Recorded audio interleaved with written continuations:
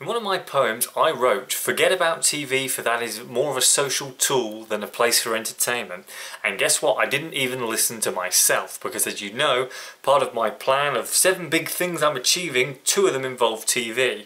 That's fine with one of them because that's for me to have my own show because, ah, greatness. But number two is to appear on a TV show that I like. Now, that is becoming far less appealing to me and I would I would revert back to the quote I said. The TV really is uh, more of a social tool in today's age. I, I suppose it always has been. It's um, it's it's not so much about entertainment. It's more about a message or setting some kind of social example. And I'm definitely not a good example.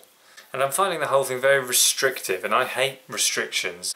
It's no longer really about who is the best candidate. It's about who's got the right message, angle, bias, etc. Now this is something that you won't know, but I actually auditioned for the last ever series of Big Brother, which was last year. I did that in secret, and believe it or not, ex-Big Brother housemate technically, didn't even get an audition. Put out the video, did the whole application form, great, great application form, spent ages doing it. To my normal standard, haven't really changed that much personality-wise, didn't even get an interview. I thought, yeah, fine, whatever. I, I had to go for this because I thought if I don't audition for the last Big Brother, then kind of dozy, thought it might be my time. They didn't even give me an audition, so I thought, well, they're probably just going to have all super connected people as normal. And anyway, it aired and it was full of quote unquote normal people, and I refused to watch it because that to me is unacceptable. That if you're going to have normal people, quote unquote normal pe people who didn't appear to be connected, but probably were, the to have them on and me not even getting an audition and I know my value I know my worth. Not the greatest person ever for TV but I know I'm better than a lot of those people. But this isn't bitterness this is just going to my point. But the truth is about TV and all these things there are there's no loyalty out there in the respect that I can be rejected tomorrow if I apply for something. But when I build a big following on YouTube and make successful series on YouTube, TV will suddenly be interested and they will have rejected me before. There's no loyalty when it comes to money.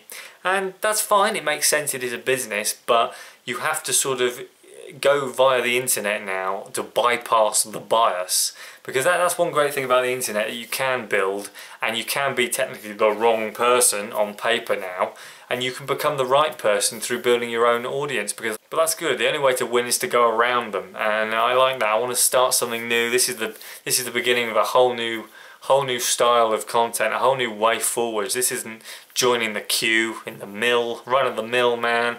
This is starting a new this is a content revolution. This is a whole new way.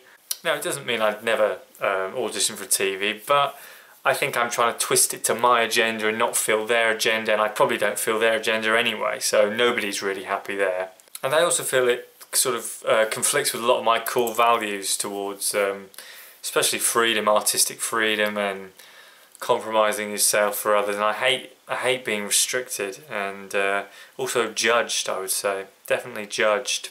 And also relying too much on other people to give you uh, to give me their to give to give me to give me my worth from other people. There you that took time.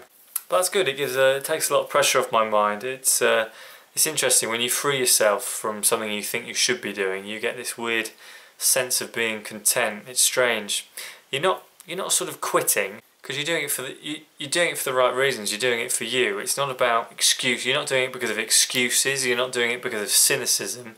You're doing it purely because it feels right. It's closer to your definition of happiness. You know, it's more in line with my principles and it's not self-doubt. I fully believe in myself. I just don't believe in the system.